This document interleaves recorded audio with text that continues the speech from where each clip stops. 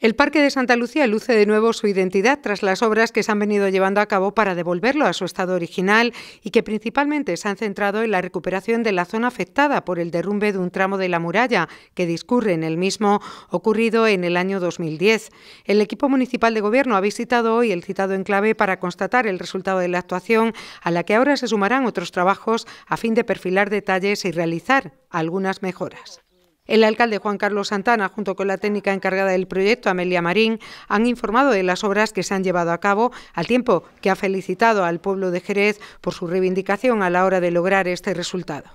Lo más importante ha sido la actuación sobre el templete, que era un símbolo importante de Santa Lucía, la recuperación del templete. Se han reparado varias escalinatas, que también estaban en mal estado, y la fuente, y, y el firme, el firme también hemos actuado pero yo sí me quedaría sobre todo y quería felicitar hoy al pueblo de Jerez. Y el mérito de la reivindicación que se ha hecho aquí cada domingo del pueblo de Jerez, Quiero felicitar a Amelia porque ha hecho un trabajo extraordinario, el proyecto lo ha dirigido ella y el mérito es de ella. Siempre digo que los políticos intentamos gestionar, pero el mérito al fin y al cabo es de los trabajadores. Y quiero felicitar a los trabajadores de la empresa porque pasaba cada día por aquí a verlo y he visto cómo trabajaban. El trabajo es prácticamente artesanía lo que se ha hecho aquí y quiero felicitarles a ellos porque el mérito es de ellos. Eh, parece que esto ha estado toda la vida, pero realmente desde el 2010 pues esto desapareció y era una, una, explanada y era el sitio donde, donde realmente eh, iba la actuación. Entonces, bueno, pues la actuación ha consistido en recuperar toda esa zona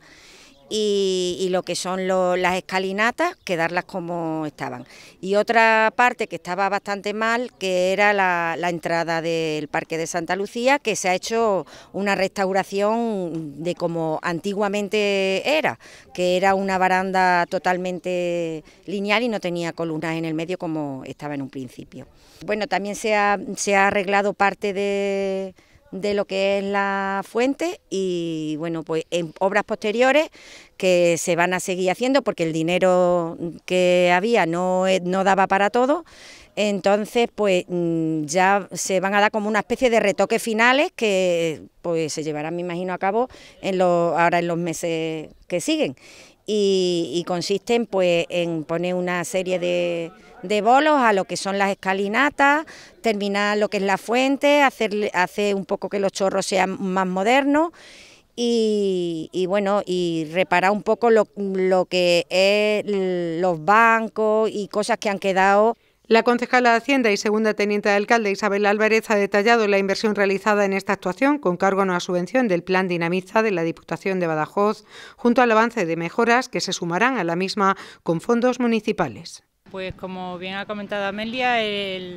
la actuación que se ha llevado a cabo estaba sujeta a una subvención del Plan Dinamiza. Eh, al final han resultado ser 66.152 euros más IVA el importe de, la actuación, que como ella ha dicho consistía en la restauración del templete, de todas las escalinatas, las zonas jardinadas y de las entradas. Ahora con presupuesto municipal pues terminaremos de adecentar lo que es el parque y de devolverle la dignidad. Por su parte, la primera teniente de alcalde Francisca Rosa ha informado de la puesta a disposición de este espacio para su disfrute por parte de todos los ciudadanos una vez finalicen las mejoras pendientes. Esto se ha conseguido gracias al esfuerzo de muchos. Eh, escuchamos a la ciudadanía qué es lo que querían y creemos que son los ciudadanos los primeros que deben disfrutar del parque en las condiciones que ellos querían. Ha sido el fruto de una muy buena gestión de los recursos económicos por parte del ayuntamiento, con la implicación de los técnicos municipales, también en este caso Amelia, que, que como siempre mira mucho por la peseta,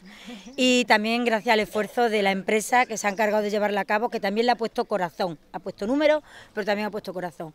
Eh, era el sentir popular que este mm, parque mantuviera su esencia y queremos que sean los jerezanos los que lo disfruten. Próximamente, cuando ya se ultimen esos otros detalles que vamos a sumar a la inversión que se ha hecho por parte eh, de la Diputación con la subvención que había, pues eh, lo pondremos a disposición de los ciudadanos. Queremos que este parque sea un sitio, como dijimos, donde vivir y donde convivir y espero que lo disfruten todos los jerezanos.